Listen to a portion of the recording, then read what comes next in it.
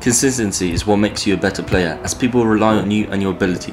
However, becoming more consistent as a player will improve your mental side, as well as the technical side of the game.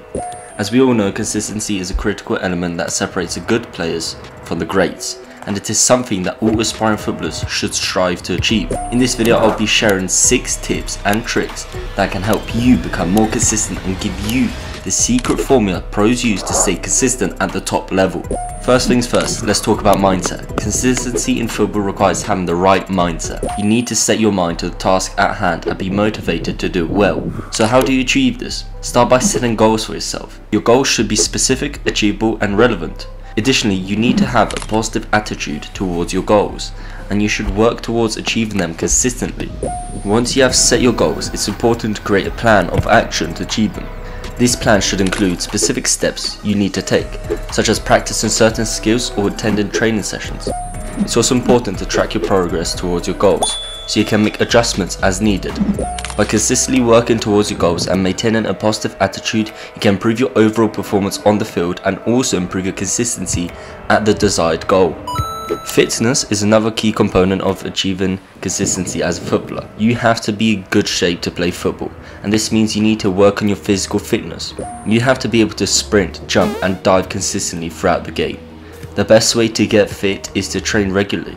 You should have a consistent training schedule which includes aerobic and anaerobic exercises. You should also include strength training to build up your muscles and improve your overall fitness levels. However, having the ability to keep the same quality when playing whilst under fatigue will separate you from good players, as when you sustain good quality, you sustain good consistency in the skill at hand. Practice makes perfect. Wrong. Practice makes improvement, and this is especially true in football. The more you practice, the better you become.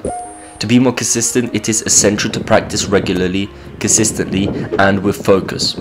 You should work on your weaknesses and continuously improve your strengths. Setting up a training routine that you will follow every week is critical in achieving consistency on the field.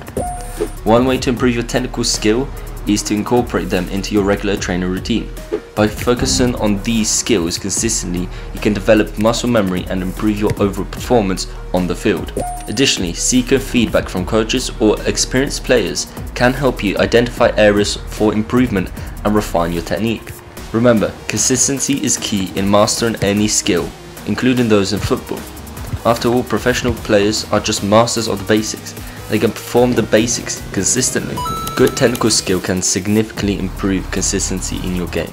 You should work on your first touch, passing, work on your footwork, diving, distribution and more. These are all essential skills that you need to be proficient as a footballer. Additionally, improving your ball control and your ability to read the game will make you more consistent as a player, as you will be able to perform this skill 9 times out of 10 without failure. Sleep is crucial for your success as a footballer.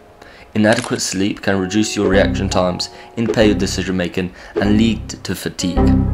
To be more consistent, aim for at least 7 to 8 hours of good quality sleep every night, and you'll replenish that energy which would lead to more practice, more consistency, and better performance. If you reached this bit of the video, comment save, and here's the secret pros use to be more consistent. The pros use this one training method to be more consistent as a player.